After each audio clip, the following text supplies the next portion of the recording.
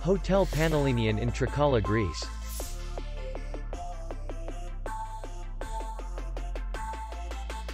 The hotel is in the city center. And distance to the airport is 83 kilometers. We welcome guests from all over the world. The hotel has comfortable rooms, air conditioned, free Wi-Fi, restaurant, minibar in each room, bar, parking, and safe. Our clients are very satisfied.